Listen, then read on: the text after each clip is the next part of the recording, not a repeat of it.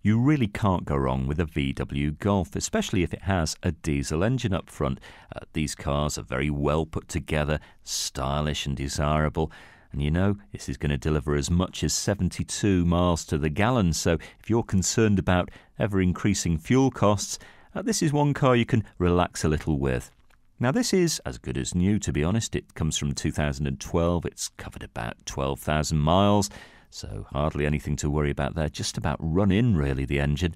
And the 105 brake horse edition, yeah, this is going to deliver plenty of performance. You're not going to be disappointed driving it. Cloth seats, everything else is there, like metallic paint, around electric windows and a CD player. You even get cruise control, so you can take it nice and easy on those longer journeys. Well, now, we've currently got over 1,400 cars on our super site at Winsford right now, so come down. You've certainly got a fair few to choose from, but maybe this is the one for you. Come and find out. Have a test drive with no obligation at Fords of Winsford.